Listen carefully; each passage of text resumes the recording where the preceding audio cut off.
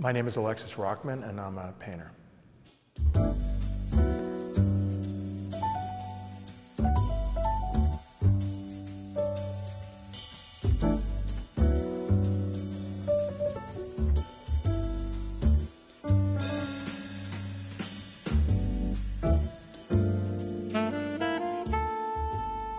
I grew up in Manhattan. As an only child, I spent a lot of time on my own drawing animals and was obsessed with animals and went to the Museum of Natural History all the time and collected reptiles and amphibians and loved to draw them. And I look back on it now and I got a tremendous amount of support from both my parents. My mom's an archaeologist and obviously you can see that there's a connection to that um, through my interest in history and human endeavors. My dad was a jazz musician. He died in 92.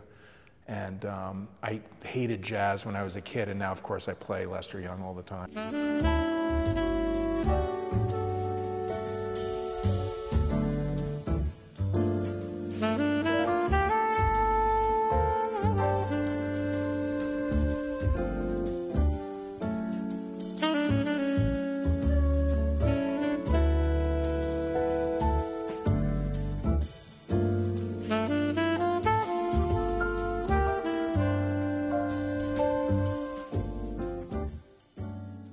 Up going to School of Visual Arts. And then I gradually realized that if I could be a painter and bring to the world what I was interested in, which is the history of natural history, that maybe there would be a place for me. And I was lucky enough to start showing in 1985 in the East Village and really never looked back. I actually started out painting on canvas, and they would start out almost as color field paintings and I would put characters from natural history illustrations that I was interested in, change things around slightly to tell what I believed was a more credible story about what was really happening in terms of pollution and the biodiversity crisis.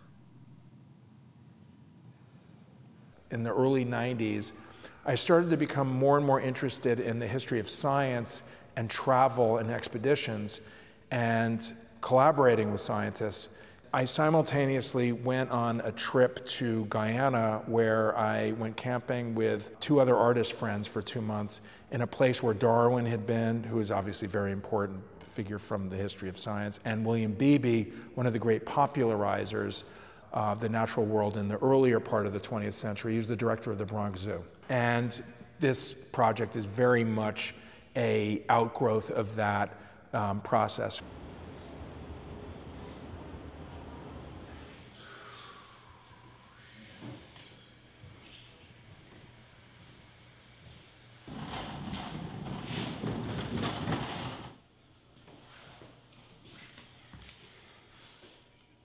So what I'm doing now is I'm sort of just getting a feel for the, um, the type of paint that this is gonna be made out of. And then tomorrow, I'm gonna try to come in early and paint the whole, this whole group of the cheeses and the bread and the port, the, the silverware and the plates and stuff um, in one go, almost like a Morandi, like very, very quickly.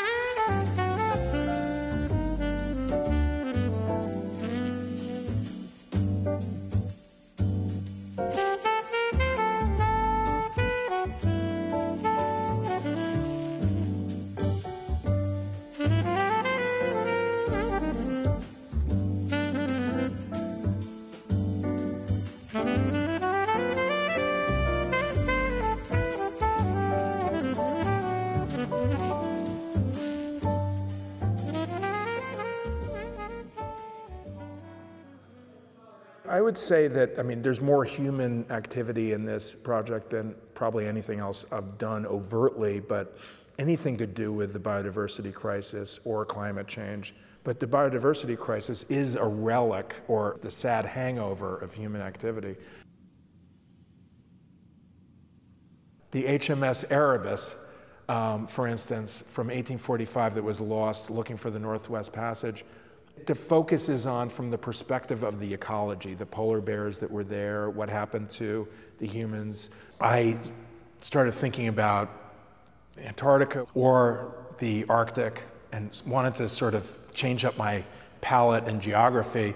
Well, some interesting things happened, and they just discovered some artifacts on this small island um, in the Arctic Circle that, um, and they had photographs of, of many of these artifacts. So I built this painting around the artifacts that were in the New York Times Magazine that they had beautiful photographs of. And I sort of started to think about the local ecology and what would be a compelling scenario and just built this, this painting out of that.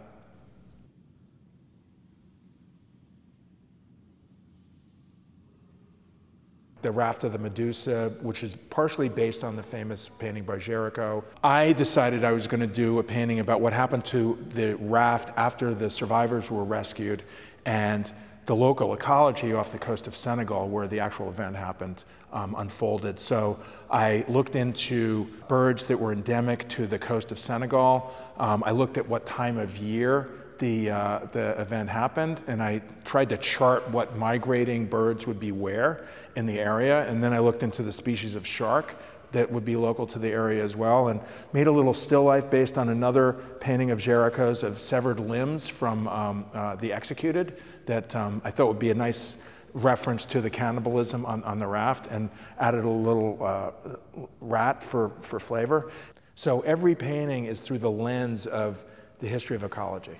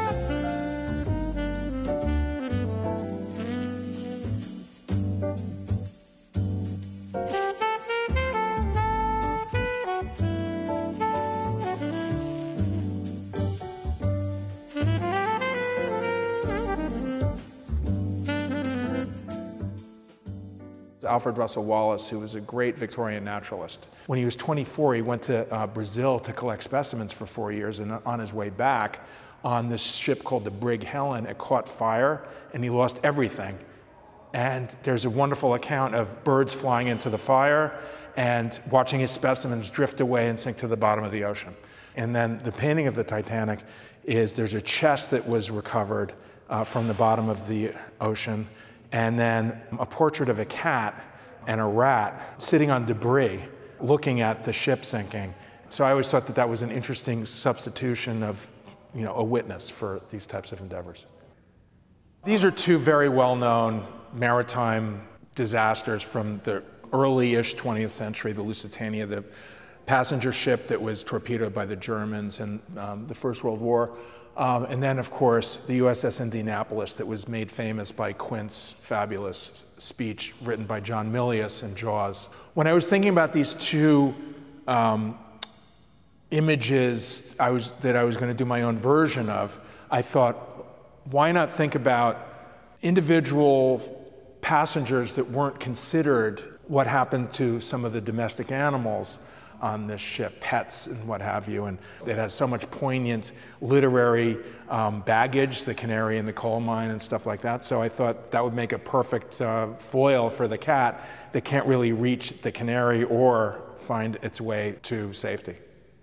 I thought about this idea of being in this very alien landscape, which is underwater, where you couldn't feel more helpless. The sailors that were on that ship were you know, decimated by um, oceanic white-tip sharks. And I wanted to create this world where the things that were possibly going to save you were out of reach and everything was elusive and impossible to, escape from anything but the sharks. The sharks were basically the only thing that were available. I think the world's a fascinating, interesting place, and you know our place in it is, um, you know, has some uh, triumphal moments and some very uh, uh, uh, disappointing moments that have ended in complete failure and disgrace. And what's more exciting way to articulate that than a shipwreck?